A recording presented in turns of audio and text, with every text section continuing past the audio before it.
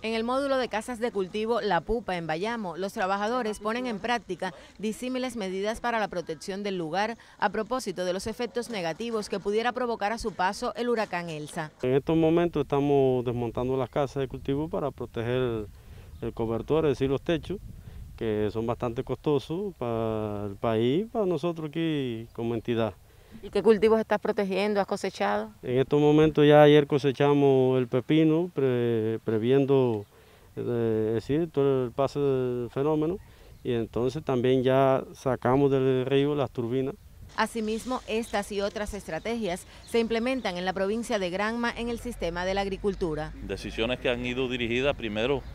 a preservar la vida humana, la vida de los trabajadores nuestros, el traslado de los trabajadores, tener mucho cuidado con ello, a partir de que vamos a tener el efecto del meteoro, pero en medio también de situaciones muy difíciles con la pandemia, cosa de que hay que extremar todas estas medidas en función de que se no, no, se nos complejice más la situación. En medio de la COVID-19, los riesgos son mayores para la población, por lo que sin descuidar los protocolos de salud, hoy se abastecieron los mercados, se vende comida elaborada y otros insumos necesarios para permanecer en los hogares los días de intensas lluvias que pudieran extenderse incluso después del paso del fenómeno meteorológico. Sobre todo en el día de hoy sábado, que los mercados agropecuarios tengan un nivel superior de, alimentación para que la población eh, tenga reaprovisiones y pueda eh, tener en, en, sus hogares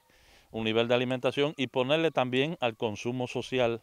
y ponerle a los centros de aislamiento de la provincia, lo que llevan los centros de aislamiento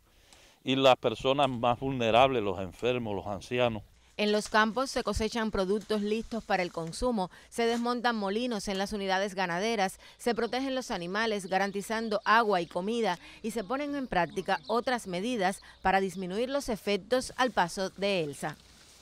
Desde Granma, Lisette Márquez, Sistema Informativo de la Televisión Cubana.